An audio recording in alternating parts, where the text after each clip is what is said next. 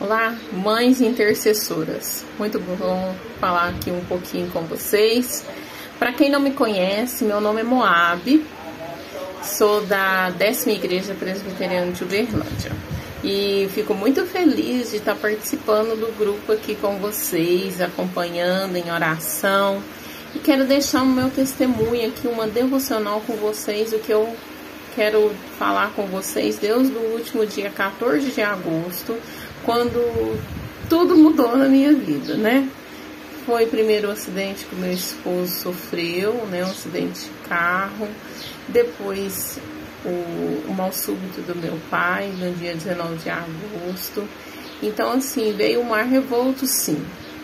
Mas a mão de Deus estava presente na minha vida. E esse versículo me acompanhou esses dias. O Senhor é minha luz e a minha salvação. De quem teria medo?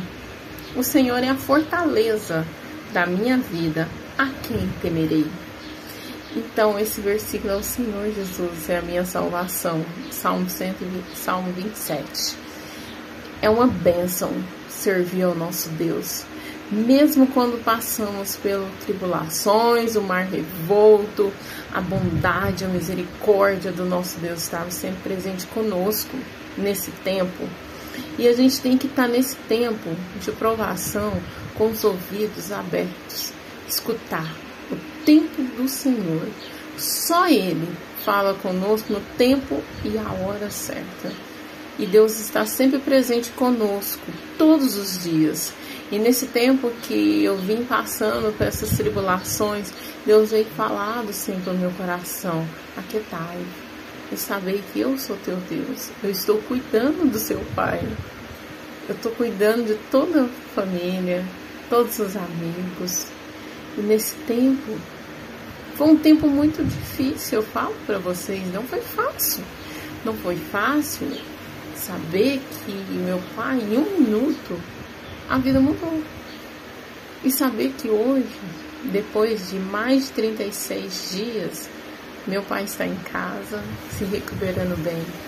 E ouvir dos médicos falar assim: seu pai é um milagre. E eu falo: quem fez o milagre é o meu Deus.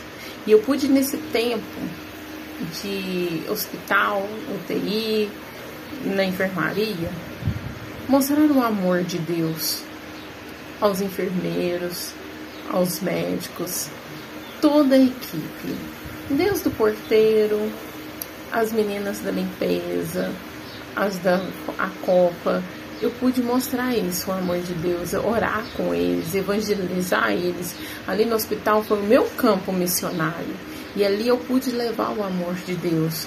Até os pacientes que estavam revoltos, bravos, eu quero ir embora, eu quero ir embora para minha casa. Eu falei, não. Tudo tem um tempo determinado pelo nosso Deus. Se esse é o tempo que estamos aqui, é o tempo que nós temos que aprender. E eu saio desse tempo, desse mar revolto, fortalecida no Senhor.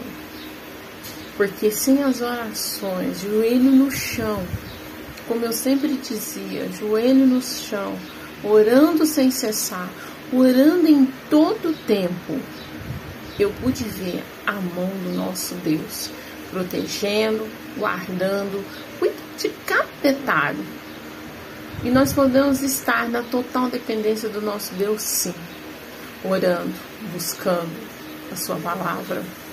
E nesse tempo de mães intercessoras, nós temos que estar ali na brecha da oração, orando pelos nossos filhos todos os dias nossos filhos, que o Senhor nos concedeu a permissão de gerar, e os nossos filhos também de coração.